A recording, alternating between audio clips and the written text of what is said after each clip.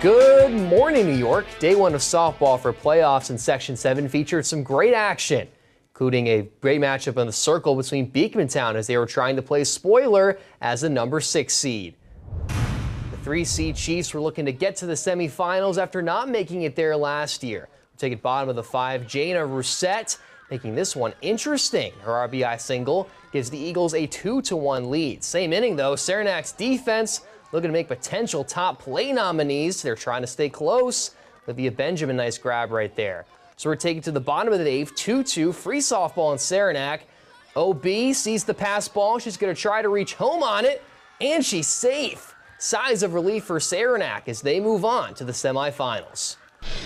Um, I was very excited. I was nervous that it wasn't going to happen, so when it did, I was very happy. Um, as a senior, it means a lot to me to be able to move on. You know, we, we really came together as a team and came out with the W. Definitely. One, two, three, work! Number four, Peru working on joining Saranac in the semis as they, as they host number five, AuSable. Bottom of the first, Patriots up, but not for long. Gabby Cunningham hits that grounder up the middle to go through. She's going to score two Nighthawks right there. Same inning, Kylie Lemon Nothing sour, but all sweet from that swing to left. How about a three RBI triple right there? Would you believe me if I said same inning?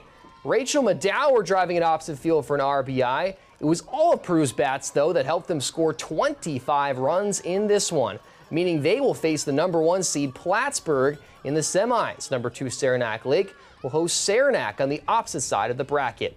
First pitch for both games is set for this Tuesday at 4:30 p.m.